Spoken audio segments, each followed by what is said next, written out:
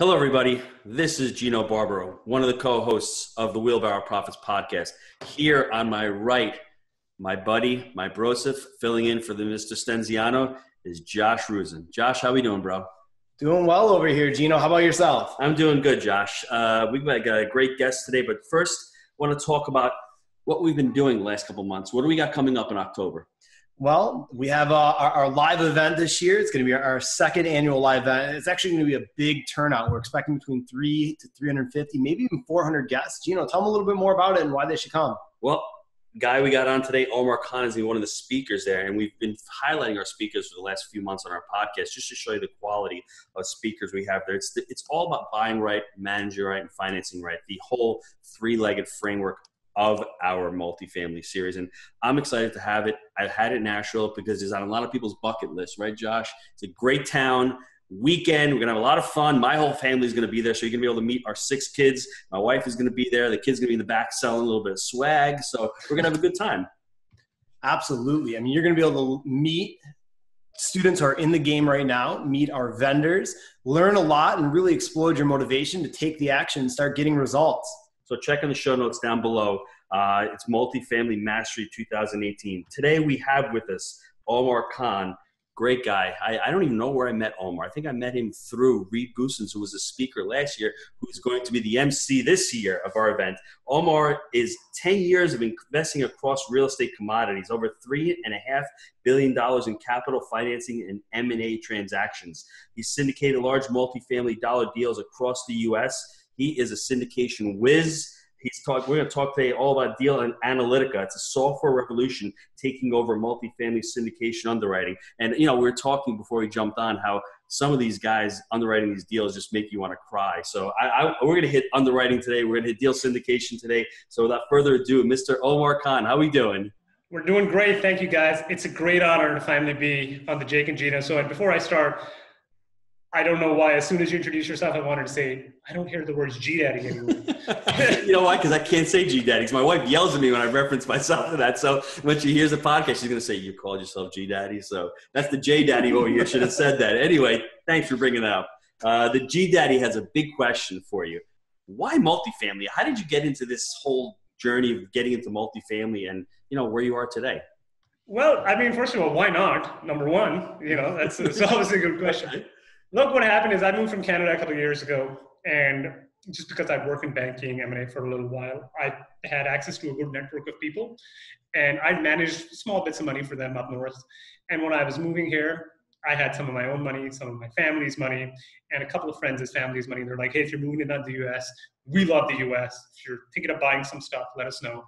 So that's how I kind of inadvertently got into multifamily because I, you know, did analysis. I talked to a lot of people. I talked to over like 200 people, and you know, the more I talked, the more I realized, you know, the financial analytical part of me realized there's so many more moving pieces in multifamily that there's which I mean adds to the complexity, don't get me wrong, but it also means that there's so many more ways that you can bring value.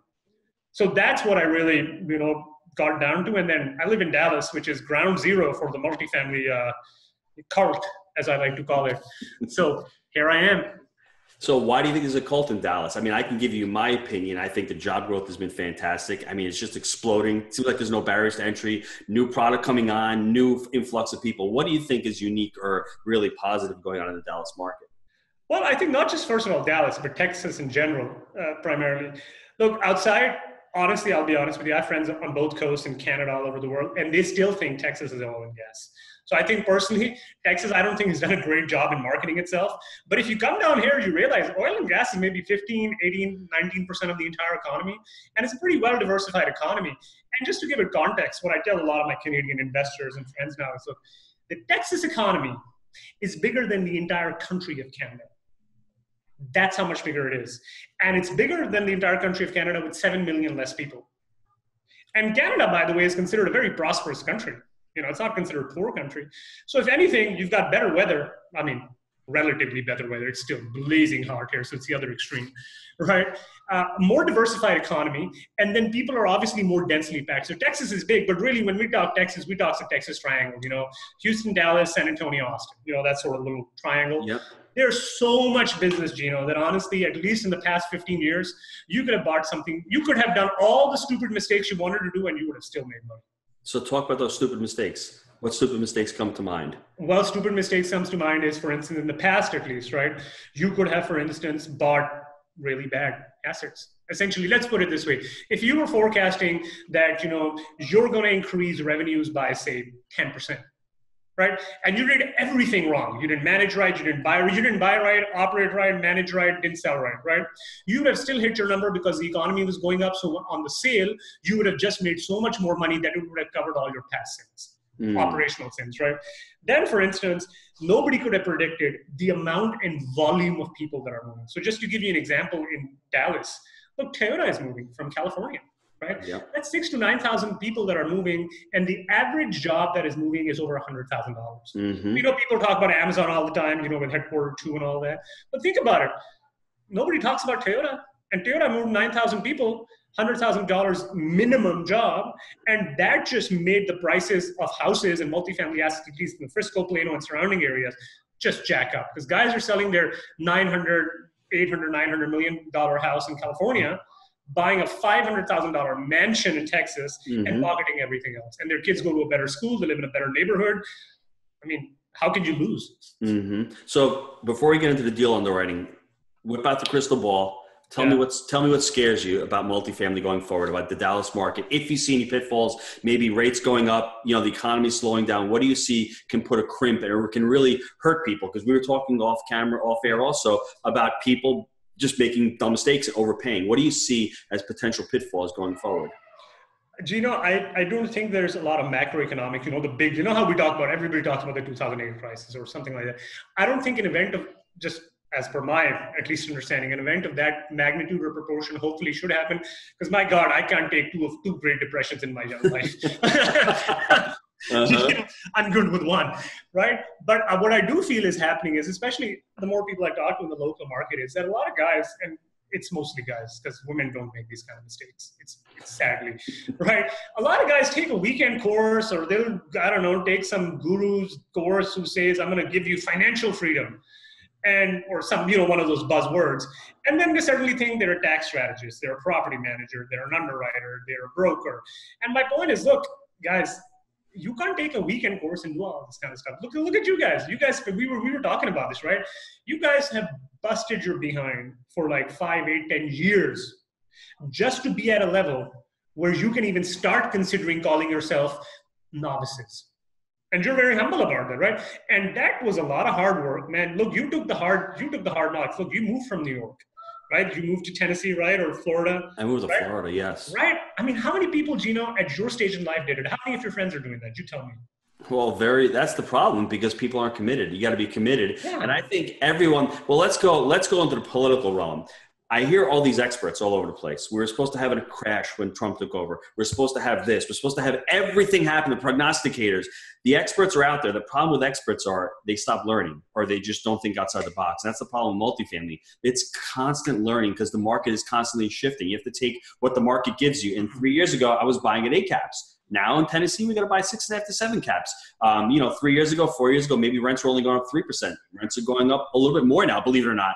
I don't know why, because the because the the, the microclimate there is where there's just not enough there's not enough inventory there. So you have to know your own market. So it's a constant learning process, and that's the problem. You know, I always tell my kids, pick up a tennis racket, start swinging it. But if you see an expert, he swings it one certain way. He can't think of swinging it another way. And that's the problem. When you become an expert at something, you can't think of doing it a different way. Just talk at the gurus. You can't do no money down deals. You, of course you can. There's just a certain asset that you can do it. So not to get off the tangent, but that's what I, I think that's real. I think that's really important. Yeah, Gino, but you can only say this after going through the school of hard knocks, doing the hard work, putting in the long hours. You didn't take a weekend course and now you're here with a award-winning podcast you're running your shows you know you have a great portfolio you're hiring people you're educating people you, you couldn't have done that overnight no, that's true. No, I agree. It required a lot of commitment, right? No, I agree. And that's what I'm talking about. Mm-hmm. How did you come across the Deal Analytical software? How did you actually envision it? Because I know you must struggle with yourself. Because every entrepreneur has an amazing idea that has those self doubts. Where am I overreaching? Am I good enough to do this? Where, where did the idea come from? Yeah, you're laughing because you know, because I, I feel the pain, brother. Look, what happened is when I moved, again, just as part of my story, when I moved here, I had a classical training in finance valuation. I did CFA. I mean, man, all I did all day, every day I got paid a really good salary. Was valuation, oil and gas leases, you know, portfolio management, you name it. That's what I did, right? Mm-hmm. So when I moved down here, I realized, okay, I understand there's lots of moving parts, right? Property management, broker relationships, you know, just managing people, also being a good manager of people. So maybe I, I don't know enough about that, but what I do know is the finance, stone cold. I can look at a valuation and tell you within 10 minutes, yay or nay, with a reasonable degree of confidence. And the more I started talking to people, the more I realized it's like, damn, dude, like, I mean, I'm not the smartest guy in the world, but hell, I'm a lot smarter than you are, man. right? Uh-huh. right? So I started looking at people's underwriting and I'm like, man, I won't touch this with a 10 foot pole because you're going on a hope and prayer right now. And that's not a strategy, or not a repeatable strategy at least, right? So I started building my own models because I was like, look, man, if I got to invest my own money, I got to have some confidence on what's going on. I can't be flying in blind. So once I started developing a lot of my own models and stuff like that, then, you know, Reed, me and Reed were talking one day. One of these, what had happened is that I was valuing a deal the most I could come up to was 18.5, 18.6 million dollars on this portfolio. And my partner makes fun of me, says, you know, you have the gift of cynicism, right? You're always cynical. I was like, okay, whatever. So I, he's like, okay, you got to be a little liberal. Let's open the taps up a little bit. So the most we could stretch that deal valuation was 19.3, maybe 19.4 million dollars. Once you, know, you start stretching, though, careful because that no, stretching is very hard. You got to have a strike price. So yeah, yeah, yeah. I like. Hold on, gets, no, no, no, hold on. It gets better. But we're like, okay, man, this this is we're just stretching ourselves, right? You know how much it got sold for for one of these gurus that are in Dallas, really popular guru? They paid twenty three million dollars for that thing. Wow! So you stretch it to 19, 20 million, 21, and they overpaid. They overpaid two million on top of the twenty one. That's yeah. So I mean, that's and that's and what I would what amazes me. I'm baffled, not baffled, but it happens every day. How does a bank even underwrite that? How does a bank even give financing for that? That's what amazes me, right? Gino, look, my point is uh, frankly, I don't even care. I'll be honest with you. I realized, look, I, I, was joking with my friend. I was like, you know, they better hit the biggest oil well right below their apartment building. Because if they don't hit an oil right below their apartment, these guys are toast. Yeah, but and I'm trying. I'm trying to educate people, and I'm trying to keep people motivated and inspired. And when when you hear something like that, you have to go back to your community and to your students to say, well, guys, they overpaid by four million dollars, but we got to keep going. So my whole thing is how did it happen? How did they come up with their valuation? I'm going to save you a ton of money because you're not going to buy that deal and make a big mistake on that deal. Because yeah. three years from now, when your IO is up, you're in big trouble because I think it's going to oh, be. Yeah. So I, I want people to stay engaged because what happens when you're first starting out, you're going to lose a lot. You're going to lose a lot of inspiration, motivation by like, I'm not even in the ball game, and a lot of our students aren't. And I'm glad because I mean at least I'm teaching them yeah. how to underwrite a deal properly. But at the same time, when you go and you put in 6, 10, 15, 20 letter of intent, and you're 20 percent not even close to a deal, I know I'm doing something right, but it's hard to keep them engaged. That's my only that was my only concern with that. Look, I agree with you, Gino, but the way I look at it is I might as well be a little disappointed right now mm-hmm. and not lose a boatload of money than be really happy right now and lose a boatload of money Good. three years. Good. I like no, no, no, It's, it's like, do I want to take the punch that I see coming or do I want mm-hmm. to get take the punch that I never even see coming and then yes. not? You know, it's yes. that sort of deal. Mm-hmm.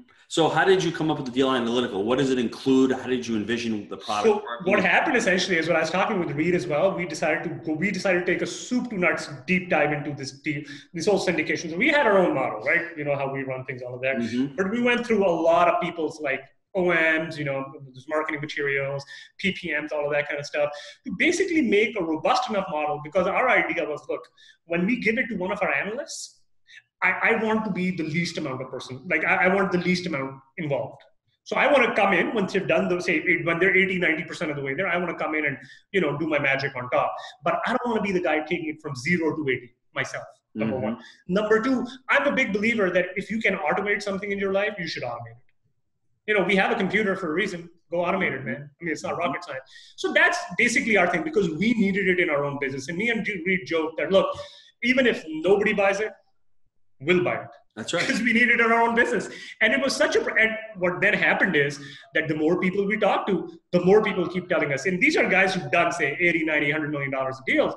Dude, I've been trying to look for this thing all my life. Like, I, I, I get these softwares, I try them out, and you need a PhD in mathematics just to figure out how to run the software. Or the numbers I get are so off that I don't even have to do any math to know the numbers are off. Because we're in the business. We do this day in and day out, you know I mean, we've talked about this. I've showed you some of the stuff, right? So for us, we know what's going on.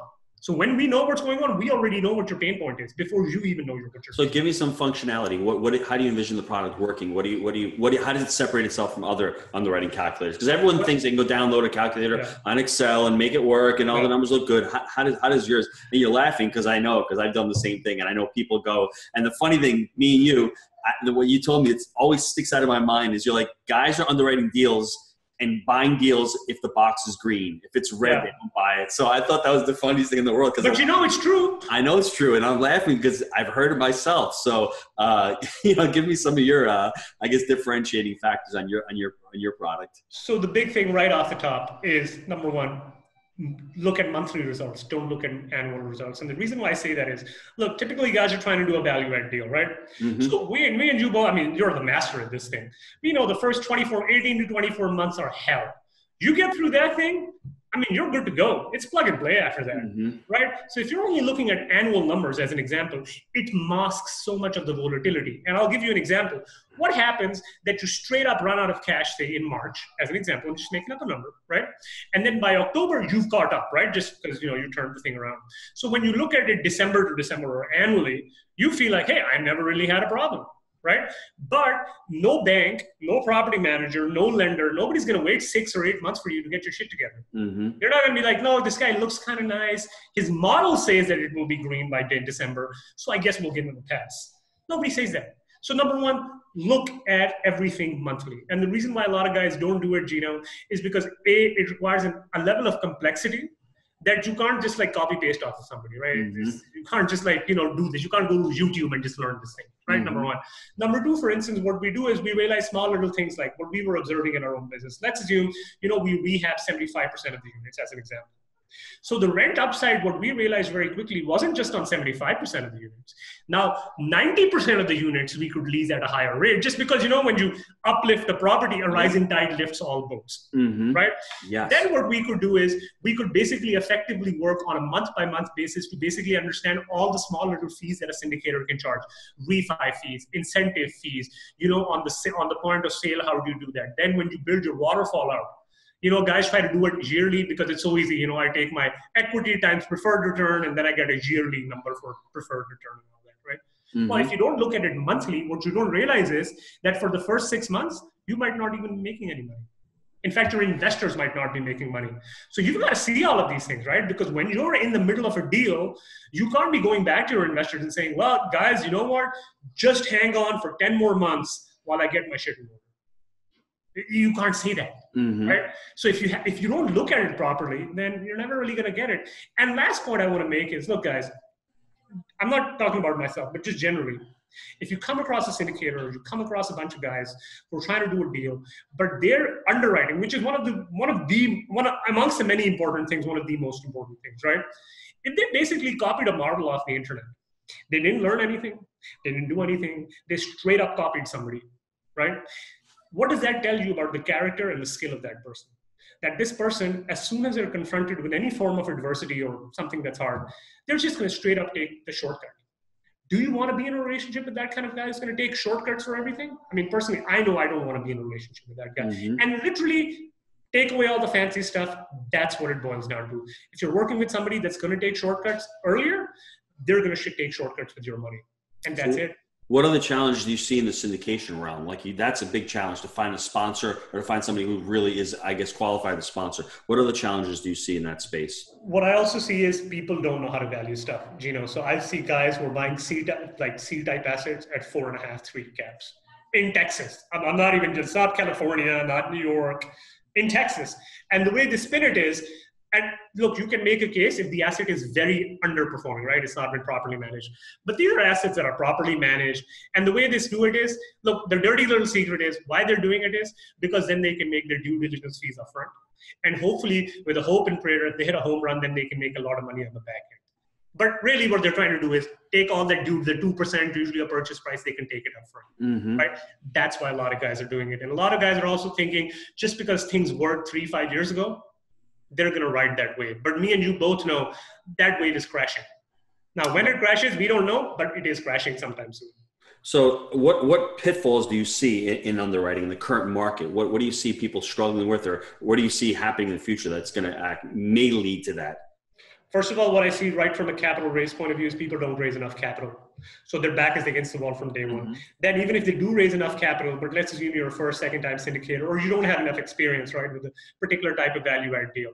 You know, you'll say, even if you did raise capital, say for a 200 unit deal, and let's assume that's severely undermanaged, you'll say, I'll come in and I'll rehab 90% of these 200 units, 180 units. Now, you and I both know managing a project with 180 units, that requires a lot of patience, skill, and experience. Now, if you're a first or second time person, look, I'm not saying you won't be able to do it, but there's a high probability you won't be able to do it. And at least in the 18 month period that you said you were going to mm-hmm. do it. Mm-hmm. Because once you go behind the eight ball, man, you're, you're just playing catch up, right? Then, from a pure underwriting perspective, these are operational issues. From a pure underwriting perspective, guys are grossly overestimating what the rent growth is going to be year on year then what is the rent premium going to be? So just because a broker in their operating memorandum is saying rent premium is $200, doesn't mean it's actually $200. I mean, the guy's trying to sell you a deal. He's not going to mm-hmm. tell you the rent premium is $25. You have to do your own research. So if you don't do your own research, nobody's going to hold your hand. And then on operationally, what we're also seeing just from, you know, now we're digging into the weeds here, right? People, again, I know I sound like a broken record. People are not looking at monthly results. So they don't see the ebb and flow. They don't see that, yeah, by the end of two years, my debt service coverage ratio might be 1.4, but for the first 18 months, it was 0.5.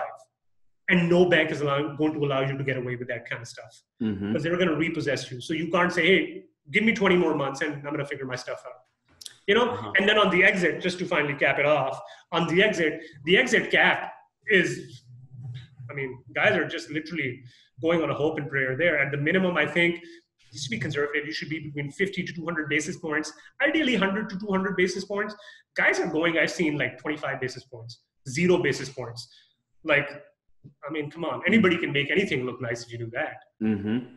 So let me ask you, Omar, what advice would you give people who want to get into syndication or syndicate their first deal? I, always heard of the sub syndicator where you raise money for another for another syndicator if you don't have the sponsor yourself or you don't have the credibility. What do you think about that path?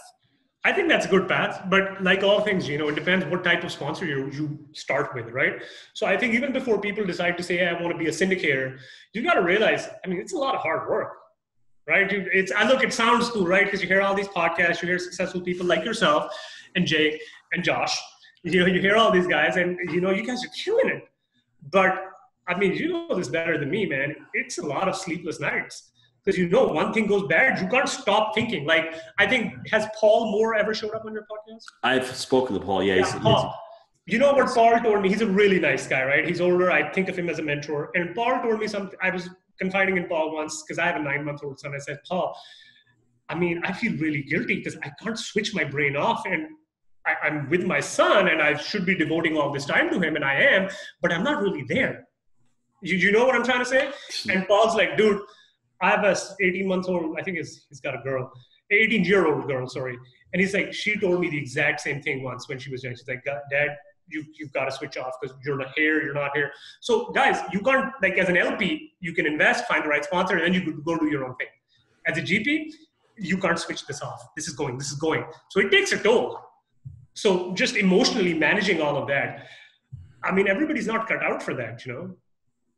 Uh, that is the bane of my existence. I, I, I can't. I have six kids, so to, to, devote, to devote the time and to shut off I, I worked, I don't say I work seven days a week, but I think. So thinking is yeah. working and it's always constantly, I mean, he'll attest to it. I, will I'll, I'll bing him on the phone 11 o'clock on Sunday night because I just thought of something and I, I can't, sh- I can't shut it off because I'm always thinking of the next thing to do. And that's what entrepreneurs are creating the next value ladder, creating the next program, creating the next document. Because that's what we do. And I think, I think if you don't want to do that, then stay with your W 2 job get a paycheck from somebody, but I, I, haven't gotten a paycheck from somebody in over 20 years. So I was, at, I've had to create my paycheck. So it was an easy transfer for me. And, you know, I mean, it's, becomes part of you. And you learn how to do it. And and you know what? Your kids become part of your business. So yeah. you include them. So my 50 year old is doing our instagram. My 12 year old is shipping out the swag. They're all going to be at the live event selling the product. So they're all going to be intertwined in the business. And that's how i that's how i you know maintain them. They're all going to film camp. So they're all going to start editing my videos and this kind of mm-hmm. stuff. So you just include them in that. You, you include them in your business. And if you're lucky you include them in your life. And I, that's what i've been i've been able to do that makes yeah sense. but it's not an easy thing though right? I mean man you can't switch this thing off. Like i've a lot of times I've gotten up in the middle of the night and just written something down. Mm-hmm. Not because I have some brilliant ideas, because I knew if I let this idea go, I don't know what's going to happen. You know, you have this mild Mm-hmm. sense of insecurity, right? Yes. What if this doesn't work? What if that doesn't work? Mm-hmm. So I, I, I totally agree with that. Totally agree with that. So, wow, that's a lot right there. Um, let's talk about the syndication in Florida. You're looking at an opportunity in Jacksonville. How do Yeah. you select? How do you select the market? I mean, you talk about Dallas, and how did you end up in Dallas? Why did you move to Dallas? Was it just family down there? or- No, what happened is, man, like, so my wife is a physician, so she's American trained and all. So for her, first of all, we were debating, hey, whether she moved, she should move up to Canada, I should move down. Anyways, long story short, her moving up to Canada would, I don't know, from what I had talked to all the doctors there, it might have broken the Canadian government's bureaucracy system. You know, so we, I was so laborious, man. I was like, man, I, this is just, I'm not going to fill paperwork for the rest of my life. So essentially, I told her, okay, if we're moving down, I am not moving to the Canada of the US. I'm moving somewhere south. It's got to be warm, and that's that. Right. So, I mean, mm. I love Texas because I was in oil and gas, but really, if you're moving south, at least for me, the only three options Southern California, Texas, Florida. I'm not a billionaire, so not in Southern California. Not yet. Not, not yet. Not. I'm not retired like 90% of the Canadians are in Florida. So that was kind of out of the picture. And really, the only thing left was Texas. So we flipped a coin between Houston and Dallas. We Mhm. we kind of you know toured. We like Dallas a lot, so we just kind of moved there, and we love it. We love it. That's Awesome. great. So how did you how do you choose a market to real estate as far as investing in a market? Oh, so what happened is, you know, I, we have like personally, uh, what I did is I designed like a, I designed like 20 to 27 factors that I was looking at for markets. And I thought, look, a lot of times, you know, when people are talking, they say, I feel like that market is really good, right? Because I was talking to a lot of people, asked the same question, hey, how do you choose your market outside of your home market, right? Mhm. And I- I'd be getting a lot of I feel and I think, and I, you know, I was like, okay, well, man, that's not a repeatable process. Like I Mhm. can't just feel my way into success. Maybe I, can, I mean, I don't know. I couldn't. Other people can. So what I did is I wrote down all the factors. So I thought I've got to make it quantifiable, right? So if I'm looking at two or three different cities, I've got to take a cold approach, like a quantitative approach. So I have about 25, 27 factors that I look, and I laid it down for all the three cities that I felt were good after doing my economic research, jobs, all that kind of stuff. And we picked Jacksonville, followed by Tampa. I really like Orlando, but Orlando, again, the problem is it's so overbought that, I mean, things weren't even, numbers weren't even making We sense. have a guru that I know bought a deal there for 20, 204,000 a door and it's Whoa. fourteen hundred bucks a month in rent they're getting. So I don't even know how that even makes sense. I, it must be some silly money out there. Um, I guess, like I said, if you have money parked in a fund and you need to deploy that money, that's what happens. You have to overpay. Or if you have 1031 money sitting there, you have to overpay, and that's what they're doing. But I just Orlando is one of those markets where if you drive on I four, I moved down here a year ago. Whenever I go to Disney, the traffic is out of control. I mean, the building's out of control. But at what point do you say to yourself, "Hold on a second, because I'm paying for that growth"? It's like buying a it's like buying a small cap stock where you know the Yeah. Ratio is 150, but should you pay 150? I mean, like I don't know. I mean, Amazon just started making money a couple of years ago. I guess it's okay if you're the Amazon, but how many of those Amazon stocks out there that Yeah. were, had those astronomical PEs and that did, that didn't pan out? So, um, give me some of those factors. What what factors do you like? I mean, other than job growth, I mean, what what else do you look for in, in a market? Hey, I can give you those right now if you want. I can just get it out on my Google Drive and I can just start spitting out factors if you like. People, But the be- big one- people, people need to hear that because um, you know there's a lot of different factors. I mean, affordability is a big one, right? The median price income. That's why from California, when you're making 100 grand in California as opposed to 100 grand in Texas, it's it's not even the forget about the employers saving the taxes. It's about the employees getting a tax break and the affordability and that whole thing is just amazing what it does what it does for the uh, for the Hey, Gino, look, my sister, my dad went to school in Berkeley. My sister and brother-in-law work in Mountain View for Facebook and another startup. I love, I love visiting California. Okay, Mhm. But there's no way, man. I mean, look, we make, thank God, we make a decent household income, right, between Mhm. me and my wife. Man, there's no way I could afford California. I've got, I know personally people every time I go visit my brother-in-law. He works in Facebook. He made some boatload of money. Okay, and every single time I meet one of his friends, and these guys are, I'm talking guys. I mean, they're young guys making a lot of money. Okay, three, five, six, eight hundred thousand dollars, and they're always complaining. I'm having a tough time making ends meet. And by the way, these guys aren't guys, you know, who have extravagant tastes. They don't go blow their money on stupid stuff. They're really diligent, hardworking people. Mhm. And I'm thinking, man, if you have your back against the wall all the time, I don't have a snowball's chance in hell. yeah You know? Well, you know what the thing is? When I heard that Tony Robbins and Grant Cardone, they moved their residences from California to Florida and they're making seven and eight figures, it's not that you can pay it. It's that Jake likes to call it theft. It's basically why should you have to pay for those services? Yeah. And, you know, that's a choice that, that consumers have to make. I felt sort of the same way with New York. I could afford to live in New York. I could afford to pay those. You know, but New York is a cash grab, man. Like my my wife did her residency in Syracuse, and when I went to New York to visit her, man, dude, that state is crumbling, man. I know and that, and and that government is just. Uh, I know. I, am trying not to get political, man, but that is just straight up cash grab. Well, they just want your money and they don't give. Yeah, it's important you mention that because that's one of the factors. I mean, one of the factors that I look at is the tenant laws and and and the actual local government, actually what the government's doing to stimulate it. Because they were talking about New York with Buffalo being the revitalization and creating jobs and all. That's not that's not happening. The Buffalo economy actually picked up and, and all the housing elevated because of people looking for multifamily deals. That's why the Buffalo market elevated. But other than that, I would stay away from the coast. I really would stay away from those because yeah, but you can only revitalize something after it's gone down to the dogs. That's right. You know, it only happens after things are bad. It doesn't yes. happen when things are good. it's a different word, right? Uh, yeah, that's a, that's a, that's a good point. Sure, give me some of those. Give me some of those. Yeah. So hey, I can spit it out for you. You know, big picture wise, obviously it's a big population growth, employment growth, income growth. But what we also look at is components of population growth, like what's the net domestic migration like? You know, what's the unemployment rank? Relatively in the country. You know, we're looking at big MSAs. Ideally, population's got to be over 500,000. You know, people yes. at the minimum. Oh, yeah. yes. You know, just for us to have make sure. You know, what is like say the housing vacancy data? What does that suggest? What's the rent to home price ratio? What's the affordability index like? Right? What is the percentage of people who can afford buying a house? Then amongst That's those percentage. That's yeah, important. amongst those percentage of people who are renting by lifestyle, you know, mm-hmm. because they want to rent, and who are renting because of necessity. So right. one thing one thing I like about the Knoxville market is renting is still two hundred forty dollars cheaper than owning a home. So uh, having a mortgage, having a home costs yeah. more than renting, which is which is which is what you want because you want people to be able to afford to rent. The rent rent's not so. Once renting gets to be too expensive, they're gonna go and buy the house. Oh, that's what it ends up with. And that big MSA, there's one reason why I like an MSA that's a little bit bigger. You can find the property management company. If you go, oh yeah, yeah, yeah. You yeah. go into a market with thirty thousand people the challenge is to find a property management company. You can't find one, or yeah. to find team members, unless you have the uh, like we have a city called Maryville, which is a feeder of Knoxville. So Maryville is a submarket; it's really, really close. So we can get anyone from Knoxville to go into Maryville to work. But if you're looking at a submarket 30 minutes away from a major metro, that might be a little challenging to find a property management company. So guys, think about that when you're when you're doing your diligence on your markets. And that's a good point you raised up because just I was talking to a couple of months ago. There's a town in Texas called Victoria. It's about 92,000, 100,000 people, and we were just just a friend of mine. He had to move some of his 1031 money, mm-hmm. so he was looking at a deal there. He lives in Houston. And yeah, we saw a deal. It was like 90, early 1960s vintage. Yeah, it's an okay deal, but pencil out okay. Lots of stuff. There was some value add there, but again, the problem was property management Mm-hmm. Right? He wasn't going to move from Houston, leave his entire life, and then move there for that building. Mm-hmm. You couldn't find good property management. You mm-hmm. couldn't find good people to work there.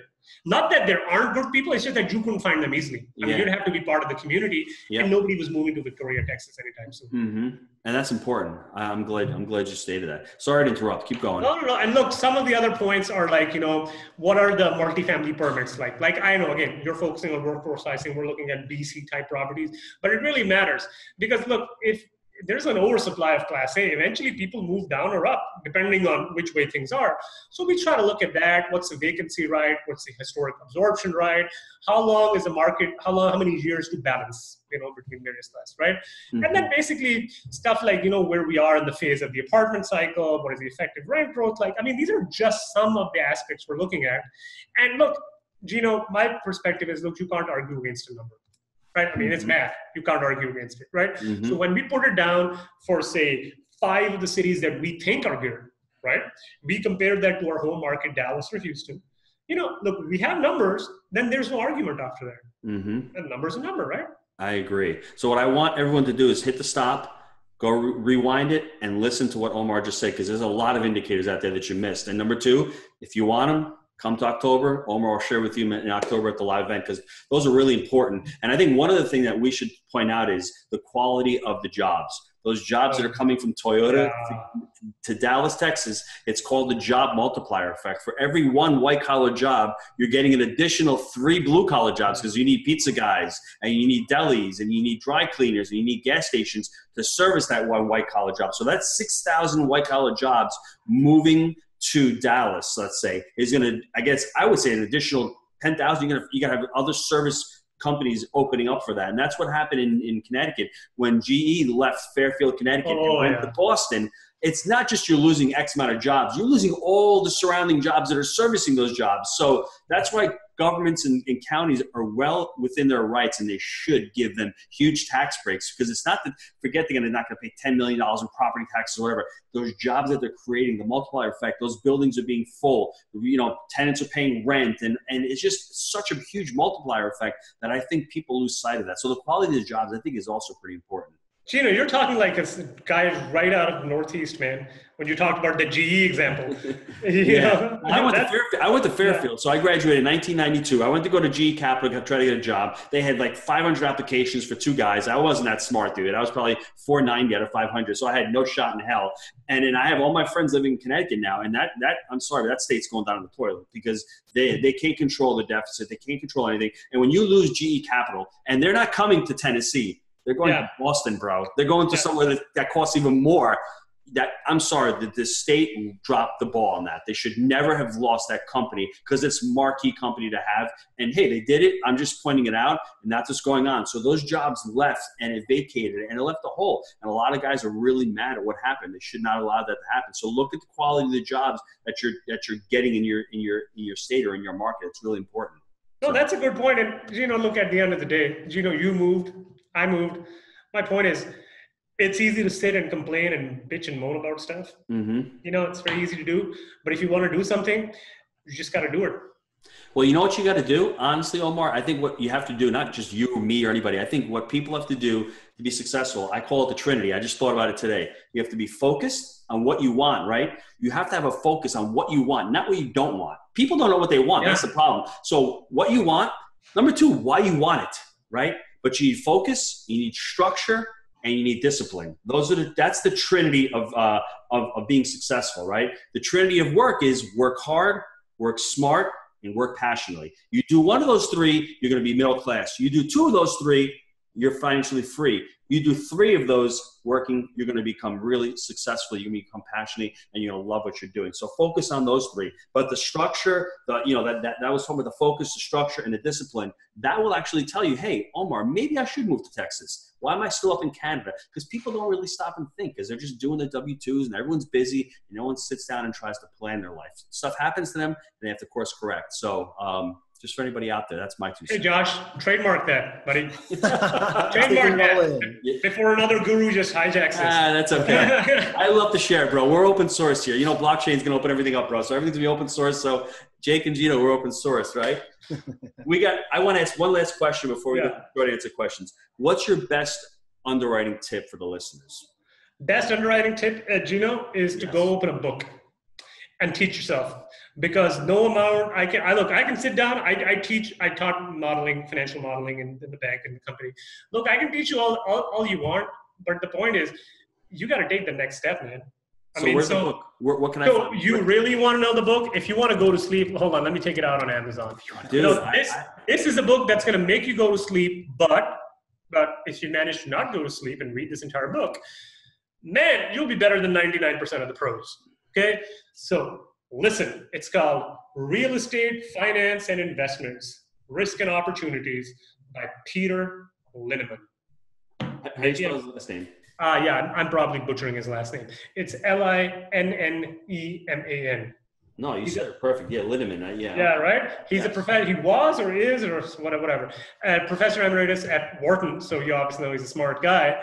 Man, this guy wrote the textbook. Okay, literally, he wrote the textbook. You go read it. You're good to go. Well, what's good about this is I think as a syndicator, as somebody sponsoring, even if you don't know it 100%, you have to at least be able to convey it to your to your people. Oh, yeah. are, and that's the same thing with the market analysis. People got to rewind it, listen to why they like the market so they can convey. Because you have been talking to me, why Tennessee? I have guys in the market. Tennessee is not a flashy state, but if I can convey to them, hey, listen, I love the market. Things are booming here. People are moving. Everyone's coming. That's important to know. So knowing the market and knowing your underwriting are two important things for every guy who wants to syndicate deals. So.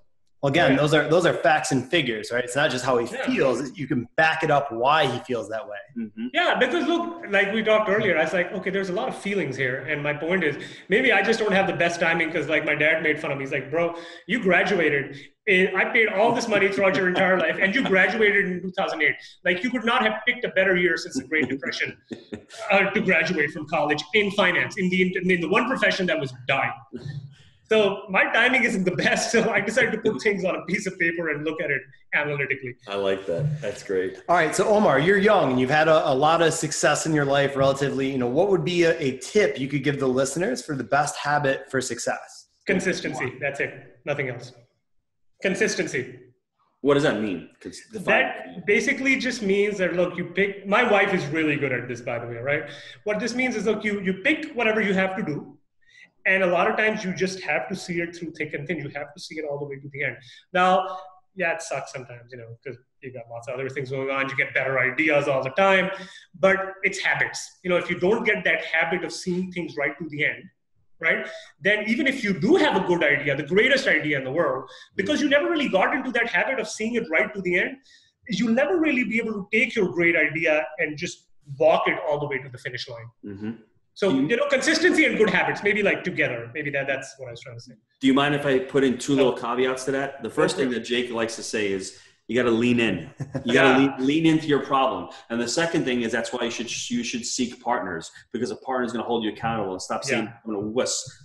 Oh, I couldn't do it. No, do it. Let's help each other out. Let's come up with better ideas because there's power and strength in numbers. So when you're all by yourself out on the island, bro, it's scary out there. But when you have a couple guys navigating with you, it means all the difference in the world to a lot of people. Help me out as far as getting our first deal, getting our second deal, finding another partner, getting more financing, learning about it, starting the education, starting the brokerage, starting the syndication. It wouldn't happen by myself. I'm not that smart. And I, even though I'm motivated, I don't have that, those kinds of ideas. So to be able to help people around me who have those ideas and to bounce it off, I think is will help you become more consistent. Yeah, and just to add to that, I feel, Gino, a lot of things in life, at least this is my realization now, good and good for me, because the day I realized I was like, yes, I can do something. I don't think a lot of success in life is dependent on your IQ. I think it's dependent on your EQ. How do you emotionally manage yourself yeah. in a situation? If you manage yourself emotionally in a situation, you could have like multiples less IQ than somebody else, and you're gonna destroy them. Mm-hmm. Uh, I can talk about that all day, and that's one of the reasons why we like to homeschool our kids because it's not about only schooling. It's not only about A's and B's and arithmetic. It's social IQ. Social has a lot to do yeah. with this. My seven-year-old, I say, Cecilia, how do you make friends? She goes, Dad, it's real easy. I put out my hand. I say, Hi, my name is Cecilia. Do you want to play? Real easy. Seven year old, she rather unlock the secret to networking. And I think if people learn how to network and create relationships, I think that's one of the keys to being successful. Just being a likable person, do what you say you're going to do, and try to help other people out. Be the go giver in your life. And you'll see yeah. how exponentially, you don't have to be the smartest guy in the room. You can hook up with the guy who's got the smartest ideas, but help him execute on that. You become wealthy beyond your wildest dreams. And usually the smartest guy in the room is awful socially. That's right. So it's good if you're emotionally great.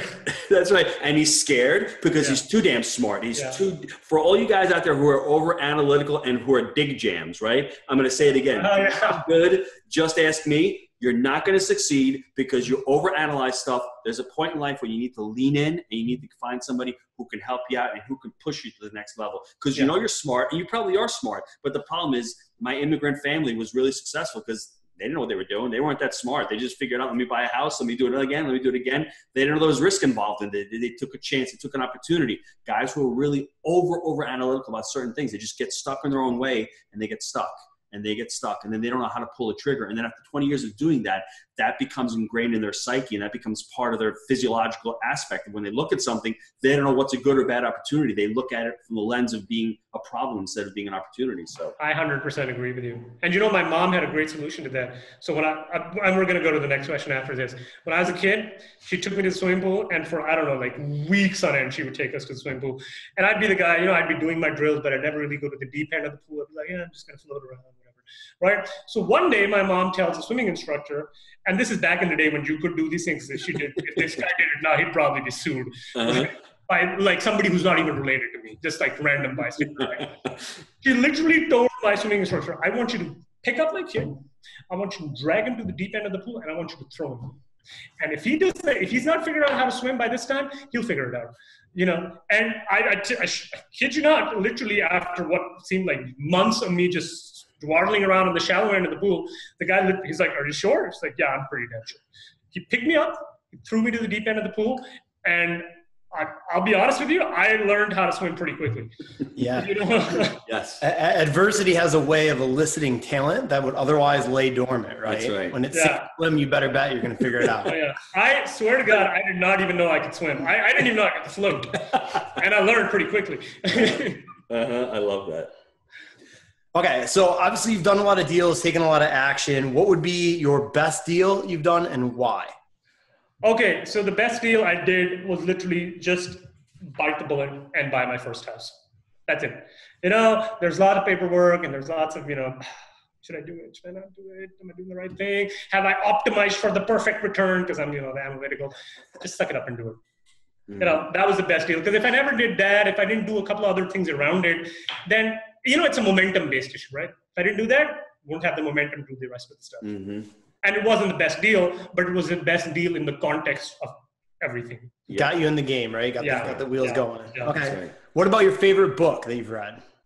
Oh, so there's a couple of favorite books, obviously, but a few of the books that I've even recommended on other podcasts, because a lot of guys like to know about real estate book. I think this is related to real estate, but it's not really real estate. It's called Thinking Fast and Slow.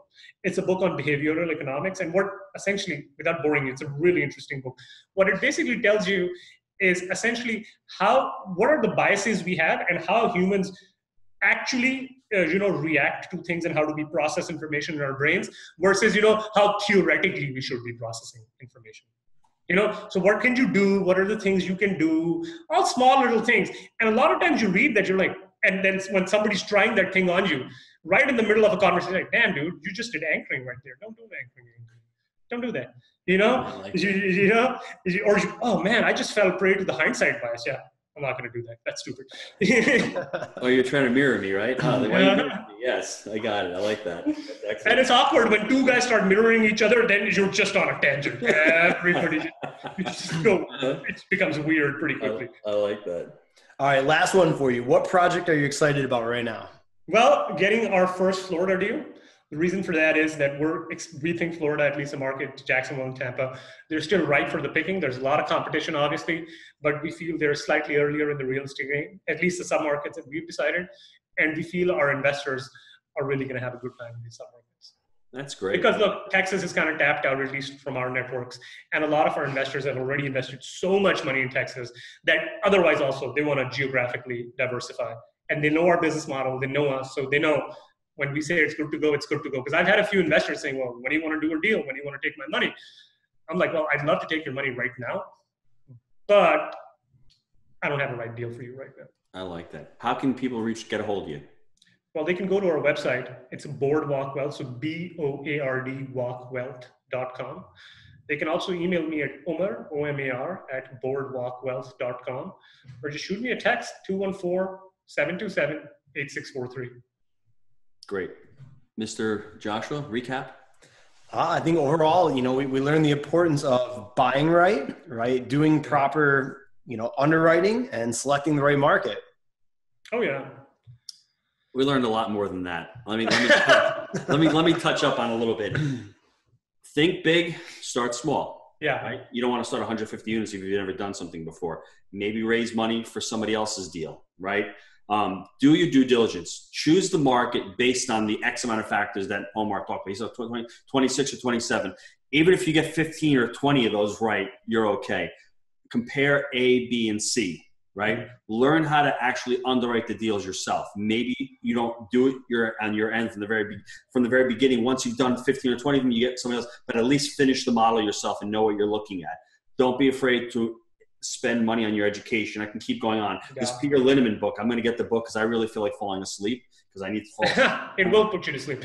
You know what? But that's the kind of stuff you need to read because that's getting in the weeds. And sometimes you need to get in the weeds, right? So I would tell everyone take a look at that book um, and just get out there and, and you know take a chance. And if you really want to do it, focus on you know, what you want to do and focus on why you want to do it. Because I wanted to do multifamily because I want to become financially free and I want to spend more time with my family and have the weekends off. And that's a pretty big why for me. And yeah. you know what? When something happened, when something went wrong, when you know a deal didn't work or when a refi didn't work, I just kept going. I kept leaning in because I knew there was a big enough reason why I was doing it. If you don't have a big enough reason why, and I can get on the phone with guys and I can tell Josh within 10 minutes, Guy's got a honeypot job. He's not leaving that honeypot job. He does not enough pain. There was a quote by Tony Robbins today that somebody sent over online. It was great. Um, talking about try to have enough pain in your current situation to get away from your problem. If there's not enough pain in the current situation, if you want to lose weight and you're eating ice cream, think of that ice cream tasting like avocado. That'll maybe stop you from eating that ice cream because there's enough pain associated with that action. Make make the pain that you're going towards less than the pain that you're actually dealing with. Mm-hmm. And I think that's really really important for. Uh, people to uh, you know to gauge and to, to start using on themselves. So. And one last thing I want to say, I'm really excited to join your Nashville event and speak there because Nashville is the city where I met my wife. Oh. So I'm really excited to go to oh, Nashville. Great. It's a great city. 20% yeah. of the cranes they've told me are in the city. It's booming. Actually, the absorption rate is not great there right now. Actually, there's a lot of concession in the A space over there. So, but you're going to see there's so much demand in the city right now. So many people moving in there. So uh, we're looking forward to actually meeting getting you on stage, just talking about your whole model. And I'm just excited to, uh, you know, to have you there. I want to thank you for being on the show. You know, we'll see you soon. Thanks for being thank here. Thank you very much. It's a great honor, guys. Thank you. Thanks. Take care. Boom.